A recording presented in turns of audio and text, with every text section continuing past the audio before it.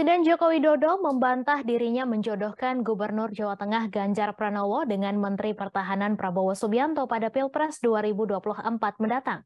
Jokowi mengatakan agendanya bersama Ganjar dan Prabowo di Kebumen beberapa waktu lalu untuk meninjau panen raya.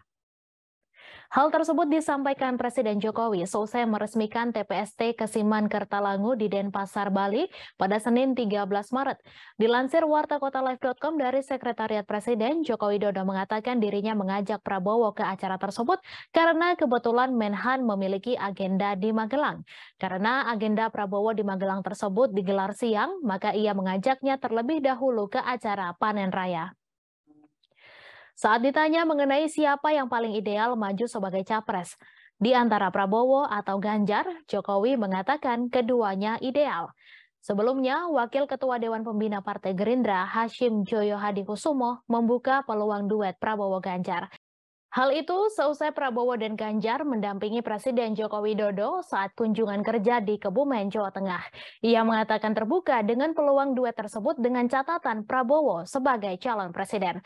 Lantaran menurutnya tidak mungkin jika Prabowo menjadi calon wakil presiden. Menurut Hasim, hal itu dikarenakan Prabowo jauh lebih senior dibandingkan dengan Ganjar. Selain usia 15 tahun lebih tua, Prabowo juga dinilai memiliki pengalaman yang berbeda dengan Ganjar.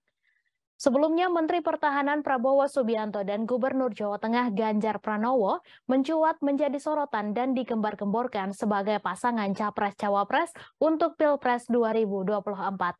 Suara penjodohan itu muncul setelah keduanya tampil mesra saat mendampingi Presiden Jokowi kunjungan kerja ke Kebumen, Jawa Tengah pada Kamis 9 Maret.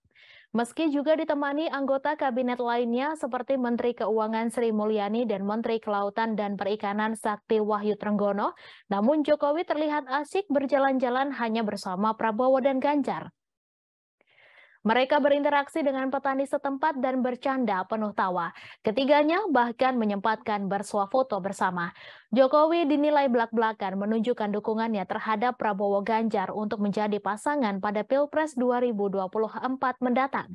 Pada kesempatan yang sama, Direktur Indo Strategic Research and Consulting Arif Nurul Ima menilai Jokowi hendak secara terang-terangan mengendorse pasangan Prabowo Ganjar.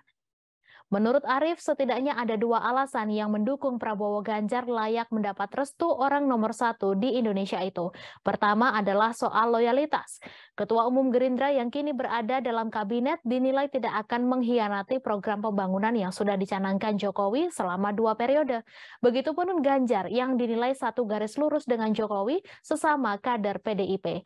Selain itu, faktor elektoral kedua nama tersebut sangat tinggi dan selalu menduduki posisi tiga besar capres paling berpotensi di Pilpres 2024. Panen raya, panen raya di sawah. Kebetulan Pak Prabowo mau ke Magelang, saya ajak bareng, udah bareng turun di Kulon Progo. Karena pertemuan Pak Prabowo-nya siang udah ke sawah dulu kita panen raya, panen raya udah ada saya, ada Pak Ganjar, ada Pak Prabowo, sudah. Apanya? Terima kasih sudah nonton. Jangan lupa like, subscribe, dan share ya.